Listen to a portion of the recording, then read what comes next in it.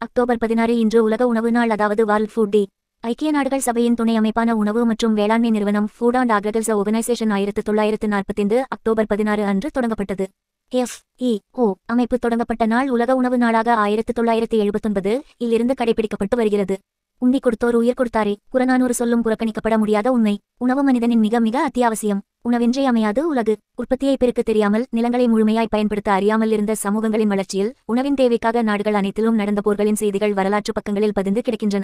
பசியையும் பட்டினியையும் போக்குவது மற்றும் அனைவருக்கும் ஊட்டச்சத்து மிக்க உணவு கிடைப்பதை உறுதி செய்வதற்கான நடவடிக்கைகள் எடுப்பதே இந்த நாளின் நோக்கம். இந்தியாவில் விவசாய பொருட்களை மையப்படுத்தி உலக உணவு நாள் கொண்டாடப்படுகிறது. இரண்டாயிரத்து இருபத்தி மூன்றாம் ஆண்டில் உலக உணவு நாளுக்கான கருப்பொருள் நீர் என்பது உயிர் தண்ணீர் உணவு.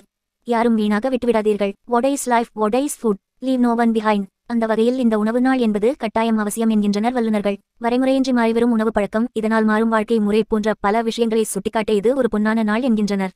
எனவே நீங்கள் உங்கள் உணவு பழக்கத்தை ஒழுக்கத்துடன் கடைபிடிக்க என்ன செய்யலாம் என்று பார்க்கலாம். உணவை வீண் செய்யாதீர்கள். ஒரு பருக்கை சோறாக இருந்தாலும் அதை வீண் செய்யக்கூடாது என உறுதியாக இருங்கள்.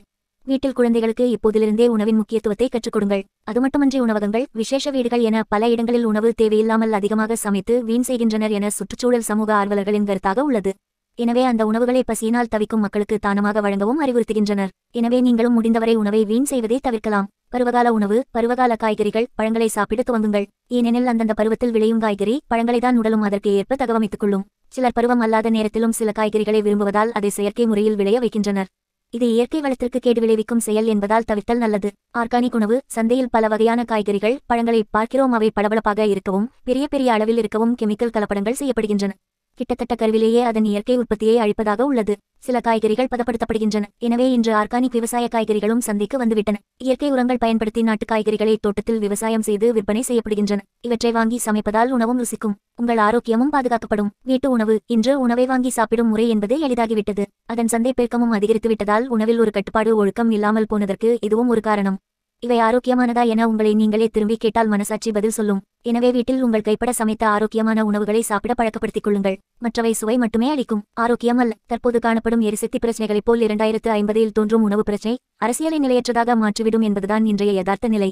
இந்த நூற்றாண்டின் மத்திக்குள் மக்கள் தொகை முப்பது சதவிகிதம் அதிகரித்து ஒன்பது பில்லியனாக மாறும் என்பது மக்கள் தொகை கணக்கீட்டாளர்களின் மதிப்பீடு. அதன்படி வரும் உணவு தேவைகளை சமாளிக்க எழுபது சதவிகித உற்பத்தி அதிகரிக்கப்பட வேண்டும். ஆனால் ஆண்டிற்காண்டு உணவு உற்பத்தியின் விழுக்காடு குறைந்து கொண்டே போகிறது. மேலும் விவசாய உற்பத்தி உணவு பாதுகாப்பு சுற்றுச்சூழல் சுகாதாரம் ஊட்டச்சத்து மற்றும் உடல்பருமன் போன்றவை ஒன்றுடன் ஒன்று இணைந்த விஷயங்கள் ஆகும். ஏற்கனவே உலகளவில் எட்டில் ஒருவர் ஊட்டச்சத்து குறைபாடால் அவதிப்பட்டு வருகின்றனர். இவர்களில் எழுபத்தைந்து சதவிகிதத்தினர் நடுத்தர வருவாய் நாடுகளான சீனா இந்தியா பிரேசில் பிலிப்பைன்ஸ் போன்ற நாடுகளில் இருப்பதாக தகவல்கள் தெரிவிக்கின்றன.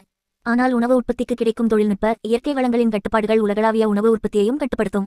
இதற்கான ஆய்வுகளில் செலவிடப்படும் தொகையும் குறைந்துள்ளது. மேலும் கண்டறியப்படும் புதிய தொழில்நுட்பங்களும் எளிய சிறு விவசாயிகளை சென்றடைவதில்லை. இந்த முறைகள் மாற்றப்பட்டு உணவு தேவைகளை சமாளிக்கும் புதிய நுட்பங்களும் கண்டறியப்படுதல் வேண்டும் என்பது சமூக அக்கறை கொண்டவர்களின் எதிர்பார்ப்பு. அதுதான் உண்மையான உலக உணவு தினமும் கூட.